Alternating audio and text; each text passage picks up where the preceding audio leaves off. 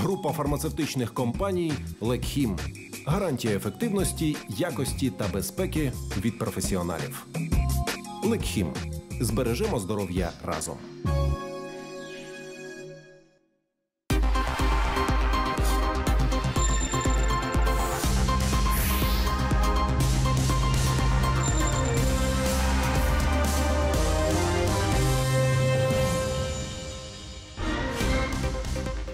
Дракона. Як демонополізація економіки допоможе її зростанню? Відповідь на питання знає голова антимонопольного комітету Юрій Терентьєв.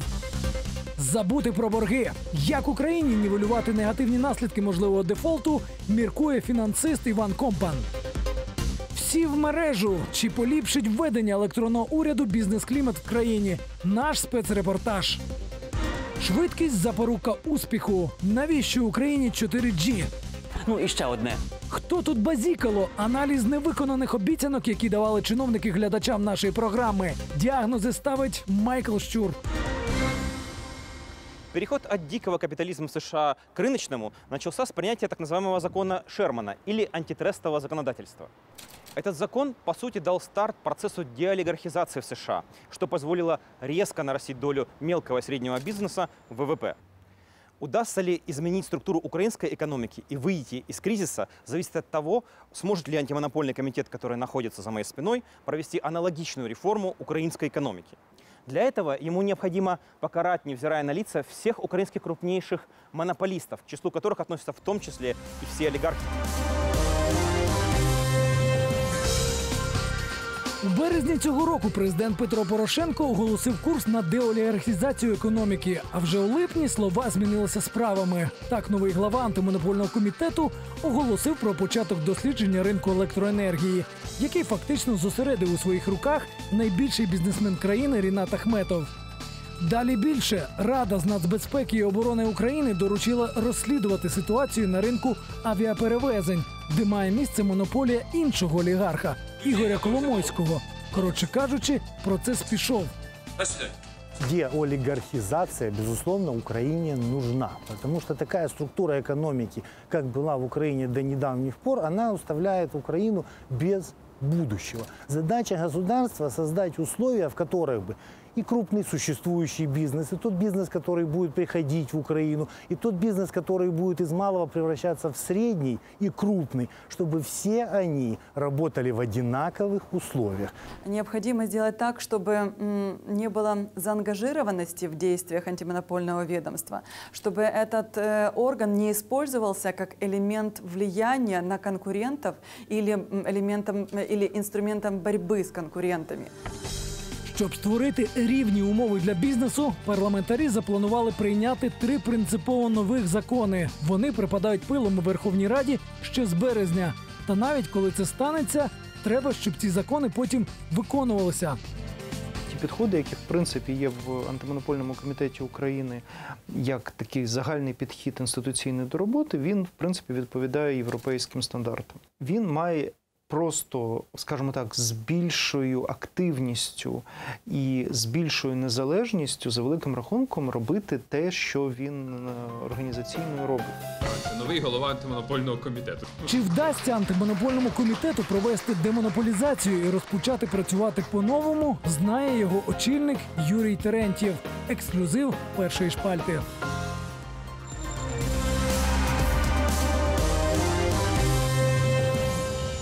Каким образом э, вы планируете реформировать работу антимонопольного комитета? Через снижение регуляторных барьеров. Это может происходить через э, э, привлечение новых участников на рынке и через изменение законодательства. Как может меняться антимонопольный комитет как орган? С одной стороны, антимонопольный комитет может предлагать изменения законодательства. И сейчас есть консенсус между депутатами, между юристами, антимонопольным комитетом, международным экспертным сообществом относительно того, э, какие изменения в украинском законодательстве должны произойти. В первую очередь речь идет о э, прозрачности э, методики расчета штрафов. В отношении расчета штрафов есть законопроекты, которые зарегистрированы в парламенте и в настоящее время рассматриваются.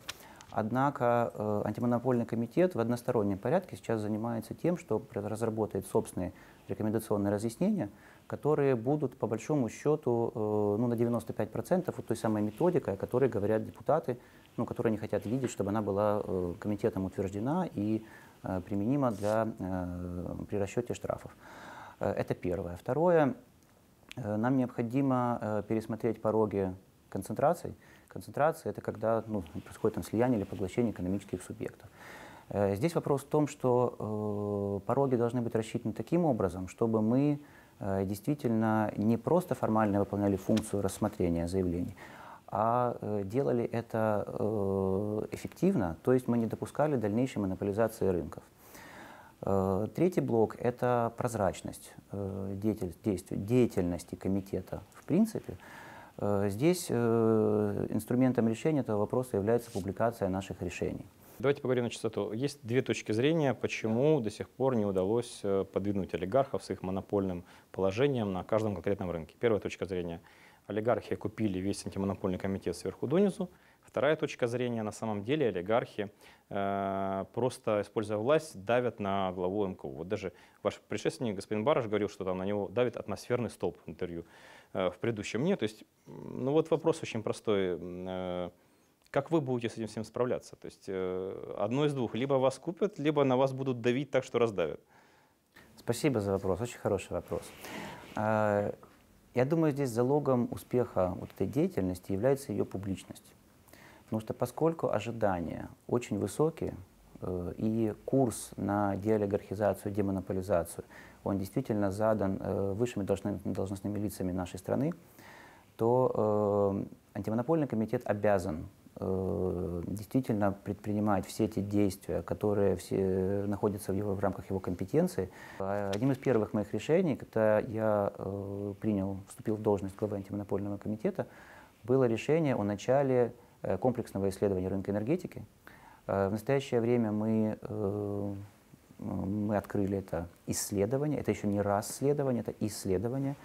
Э, Мы исследуем рынки э, электрогенерации, дистрибуции электроэнергии, э, рынки газа, рынки дистрибуции газа, э, подключение к сетям, как электричество, ну, электроснабжения, так и газораспределительным сетям, рынки сжиженного газа, рынки нефтепродуктов, эм, что, в принципе, как бы покрывает весь топливно-энергетический комплекс. По состоянию на сейчас э, комитетом были подготовлены э, требования о предоставлении информации, они были разосланы субъектам рынка, и э, я думаю, где-то в начале августа мы получим ответы на эти требования и э, будем дальше формировать нашу позицию по этому делу.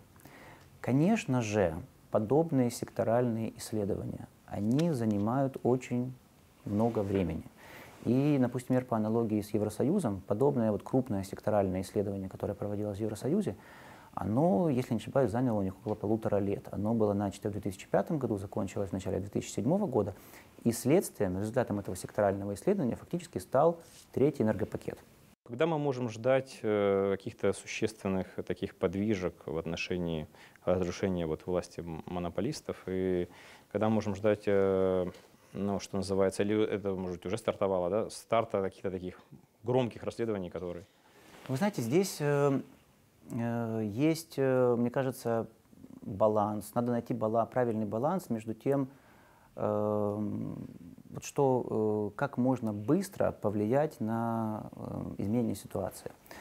Э, Исторически э, вот антимонопол, вот органы, анти- антимонопольные органы в некоторых странах, ну и вот у нас в Украине, как действовали. То есть есть, допустим, какие-то обстоятельства, да, которые э, говорят о там, наличии нарушения.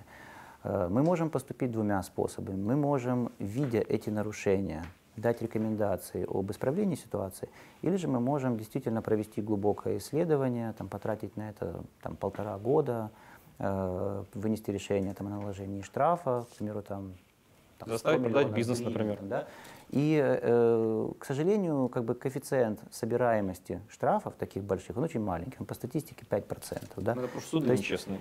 Ну, э, здесь, Проще подкупить судью, чем дать знаете, вам здесь штраф. сложно сказать, но иногда как бы легче предприятие закрыть.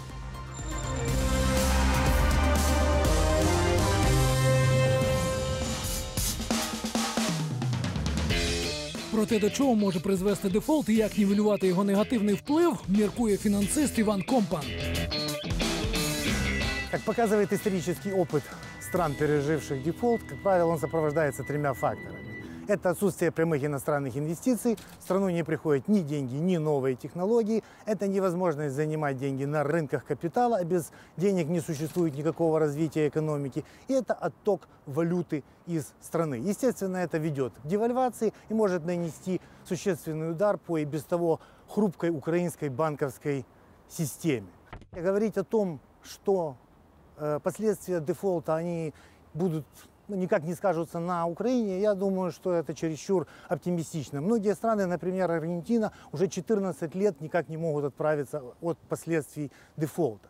В данном случае будет важно другое. Как сгладить эти негативные последствия. И большую роль в этом будут играть ожидания и настроения как бизнеса, так и населения. Эти настроения и ожидания они будут формироваться не заявлениями политиков и не предположениями аналитиков. Одним уже не верят, и обычно, когда следуют их успокоительные заверения, это все ведет к каким-то катаклизмам на финансовых рынках. Аналитики могут ошибаться. Все, что может сформировать правильные ожидания и настроения у населения и у бизнеса, это не слова, а дела. Конкретные дела в виде реформ. Если и бизнес, и население увидят, что у страны наконец-то появилась стратегия экономического развития, у государства и у власти появилось желание ее исполнять, и все это подкреплено необходимыми умениями, вот это и поможет нам сгладить последствия дефолта. А говорить то, что дефолт никак не скажется на украинской экономике, опять же, повторюсь, думаю, чересчур оптимистично.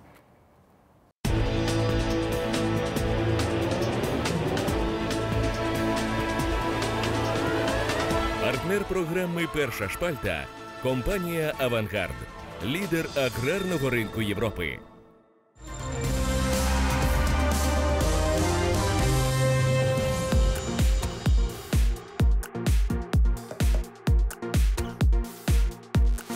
Естонія одна з найбільш розвинених країн Європи у сфері інформаційних технологій. Швидкий інтернет тут практично всюди: в офісах, помешканнях і на вулиці. Навіть голосувати на виборах можна в мережі. Словом, it країна. Однозначно можно сказать, что Эстония упростила все процедуры, э, которые относятся к бизнесу в целом, не только к IT-сфере. Это все глобально упростило процедуру открытия новых стартапов. Эстонию часто ставят пример для стран, которые хотят развивать собственные IT-технологии. Чего стоит один Skype, который прославил эту маленькую Прибалтийскую республику на весь мир? Экс-премьер Эстонии Юрген Парц, который в свое время занимал пост министра экономики и коммуникаций, хорошо разбирается в этой теме. И сегодня мы беседуем с ним в рамках первой шпальты. Я хотів би почати нашу розмову зі скайпу. Ця компанія сплачує податки в Естонії чи десь за кордоном. Скайп це вже давно глобальна компанія. В Естонії залишився тільки так званий центр з розвитку, в якому працює близько 500 високооплачуваних працівників. Вони сплачують податки з прибутку та соціальні внески. Але наразі ця компанія є частиною великої компанії Microsoft. Це глобальний світ, і ми маємо усвідомлювати, що це право акціонерів вирішувати, як організовувати свій бізнес. Я чому питаю? Нині в Україні потужно розвивається it сектор і розвивається саме тому, що тут можна платити нижчу зарплатню, а податки сплачувати за кордоном. Чи вдалося вам, хоча б частину грошей подібних глобальних it компаній залишити в країні? Це проблема не лише України чи Естонії, це і загальноєвропейська проблема. Якщо порівнювати скільки грошей залишається у нас в країні, то тут ситуація набагато гірша ніж, скажімо, у Сполучених Штатах. Натомість ми намагаємося знайти іншу нішу. Треба бути реалістами. Існують десятки естонських стартапів. Ви навіть можете не знати, що вони естонські. Ви радієте з того, що вони працюють в Естонії? Я відповім вам так: ми не заздримо. Ми просто мусимо знайти нашу нішу, адже неможливо конкурувати, припустимо, з Лондоном чи Кремнієвою долиною, де мешкають мільйони фахівців, і де добре розвинена інфраструктура, а також є доступ до капіталу. А яку інфраструктуру ви розвинули у своїй країні? Наша мета зробити в першу чергу так, щоб якомога більше високооплачуваних робочих місць залишилось в Естонії. І є одна річ, яку нам дав Skype. Це впевненість, що ми спроможні створити глобальну компанію. Такі приклади завжди важливі, оскільки вони дають поштовх для розвитку нових компаній. По-перше, люди добре заробляють на тому, що продають свій продукт таким гігантам, як Microsoft. А з часом вони і самі стають венчурними капіталістами, тобто інвестують в інші компанії подібного штибу. Утім, стартапи не єдине, чим славиться Естонія. Завдяки власним програмістам та проведеним реформам країну почали ставити у приклад іншим країнам в галузі надання державних послуг. Я думаю, що велике значення для розвитку IT в Естонії Естонії будь-якій країні є фокус уряду власне до розвитку різноманітних цифрових сервісів. І те, в чому Естонія була і залишається насправді лідером серед країн Європи, це те, що під проходить під загальною назвою електронний уряд. Я хотів би запитати про інший аспект технологічної революції. Знаю, що ви провели велику реформу у вашому уряді. Наприклад, ваші міністри практично не використовують папір. Ніхто не використовує папір в Естонії, і не лише міністри. Я вам більше скажу. Незабаром наша країна взагалі стане безпаперовою.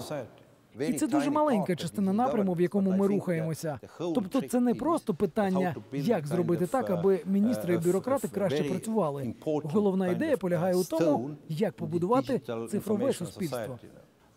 Естонці винайшли систему, в якій кожен громадянин має своє безпечне місце у кіберпросторі. Кожен ідентифікований, адже без цього неможливо надавати медицинські чи то освітні послуги або послуги для бізнесу. Другий важливий момент необхідність складання баз даних. Слід думати про те, як працювати з даними. І ось тут важливим є такий принцип: держава не може двічі просити у громадян надати власні дані. Це означає, що якщо якесь міністерство створило базу даних, то воно має обмінюватися інформацією з іншими міністерствами. Наступний принцип дані мають бути доступні для будь-кого, хто має законне право їх переглядати. І останнє мене часто питають, як захищати особисті дані. Кожен громадянин Естонії може легко перевірити, хто саме цікавиться інформацією про нього, наприклад, поліція чи то податкова. Тобто естонці знають, хто цікавився інформацією про них. Коли це все є, то можна створювати будь-які сервіси. До речі, зараз багато говорять про електронні вибори, зручне заповнення електронної податкової декларації та електронний підпис. Це якраз наслідок того, що в нашій країні були створені умови для креативності, і саме через це згодом виникли нові послуги.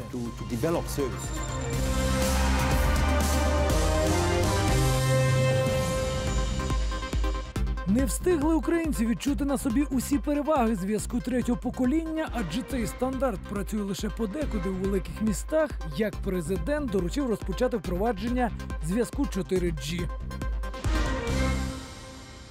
Давайте поговорим сегодня о возможном внедрении 4G. Указ президента о том, что у нас необходимо внедрять 4G, это такой сдержанный оптимизм или или что это вообще? Как это понимать? Я думаю, что к этому нужно относиться достаточно серьезно поскольку э, этот указ достаточно взвешенный и дата, анонсированная в нем 2017 год, э, вполне отвечает реальности. Цифра 2017 год вполне реальна для принятия до этой даты необходимого законодательства и для внедрения 4G в дальнейшем. 3G еще не внедрен, а мы уже говорим о следующем поколении. Это не слишком оптимистично? На мой взгляд, это не настолько быстрый путь, и я уверен, что по состоянию на 2017 год, скорее всего, этого не будет сделано. Что касается в конечном итоге э, выбора технологии 3G или 4G, поверьте мне, что с точки зрения восприятия, ну, там, скоростных каких-то моментов, то абонент быстрее увидит отличие между 2G, 3G, нежели между 3G, 4G. Потому что, к сожалению, до, сегодняшний день то, что э, заявлено Etsy, скорости 1 гигабит и 100 мегабит в 4G не реализованы, они не намного ушли по скоростным показателям от технологии 3G. Ну а с точки зрения различных э, переносных гаджетов, их, к сожалению, еще не так много. Опять-таки это связано с тем, что не так активно 4G развито в Европе. Позволю не согласиться с этими комментариями, поскольку если мы посмотрим статистику мировую и статистику Европы, то на настоящий момент уже 422 оператора внедрили 4G. Это 106 операторов э, только за прошедший год э, внедрили 4G технологии. И если говорить о гаджетах или девайсах, которые поддерживают 4G, то их уже более 3200 наименований. Тенденция такова, что этот процент будет неуклонно расти, поскольку только 3G-телефоны уже не выпускают. Если говорить о том, что получат от этого пользователи, увидят ли они разницу в скоростях, Опять позволю себе сказать на своем опыте и на знании того, что 1 гигабит уже внедрен в Японии, они увидят разницу. Если вы э, воспом... В Японии увидят или у нас? У нас тоже увидят, даже для сравнения, в Европе, э, по дорогам Германии только 4G имеет возможность э, поддерживать передачу хендовер, так называемый, без обрыва протокола, при скоростях больше, чем 120 км в секунду. То есть если машина движется быстро. Поэтому как бы без 4G в принципе на дорогах не обойдешься. А, во-вторых, в сельской местности э, что сделала Германия? Они пошли по пути выдачи лицензий, который предусмотрел, скажем так, двухэтапное внедрение. В первую очередь внедрение 4G в сельской местности и там, где 3G не дошло, и по дорогам. И только потом а, операторам позволили заходить в крупные города, в густонаселенные города. Поэтому население сразу же почувствовало разницу и получило возможность доступа к высокоскоростному интернету там, где его раньше не было. Если поставить такие же условия, как сделала Германия, коллеги, идите в те города, э, где, где 3G нет. 4G может появиться там, где 3G и не будет, да? Ну, теоретически может. Э, и это так, как развивалась, например, та же Германия, которая является наиболее успешным примером в развитии 4G.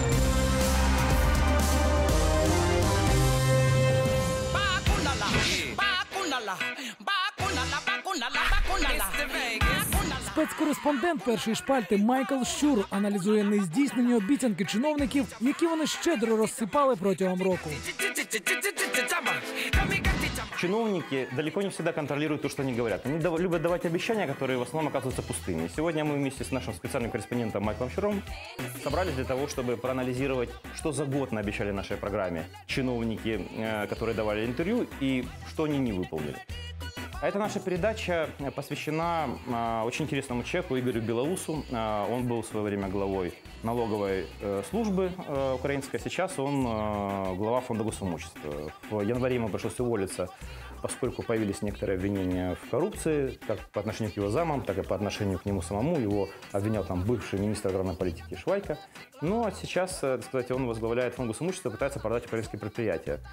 Це насправді буде метод електронного автоматичного адміністрування ПДВ з певним видом гарантійного внеску, коли формується податковий кредит. От поки що бізнес двома руками за, и все бухгалтера трьома руками за.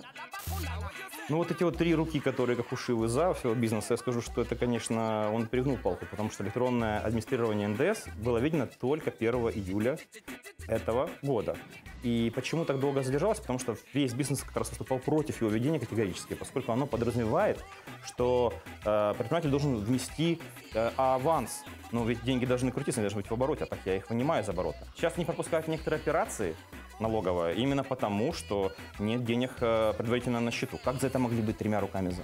Мене, мене дуже турбує, в принципі, його сприйняття бухгалтерів як трируких створінь. Я би на його місці подивився на справжніх бухгалтерів або бухгалтерам, порадив е, піти до пана Білоуса і показати, що у вас дві руки, може тоді на вас буде менше роботи. Це реформування єдиного соціального внеску, який не є податком сьогодні, він є збором, а ми його адмініструємо.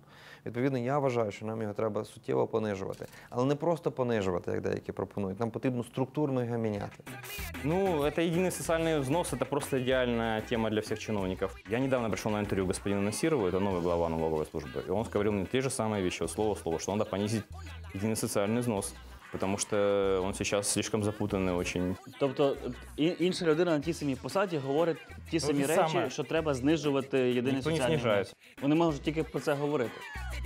Тут Игорь Белоус э, рассказывает о том, что фактически все э, предприниматели, которые пользуются услугами обнальных площадок, то есть используют такие серые схемы, они обязательно откажутся от этих э, площадок и будут э, честными людьми, которые будут платить налоги в полном объеме. Вони всі будуть платити, вони всі змучились від цієї оптимізації, від цього планування непотрібного. Це використовується екстра кадри, екстра логістика, куча готівки їздить і так далі, тому подібне. Ну, я теперь могу просто сказать, что произошло по итогам. Никакие серые площадки никуда не убрали. Він він зараз говорив про те, чому підприємцям невигідно користуватися обнальними компаніями. Да. А йому не краще говорити про те, чому вигідно користуватись легальним способом е, отримати готівку, ніж нелегальним пояснювати. Хлопці, не користуйтеся обнальними площадками, це вам не вигідно. Якщо б це було їм не вигідно, вони б ним не користувалися.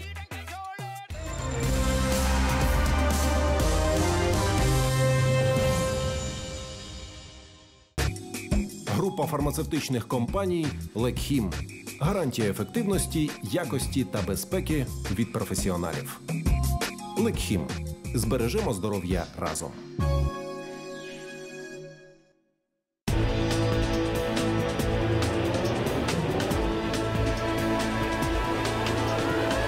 Партнер програми Перша шпальта компанія Авангард, лідер аграрного ринку Європи.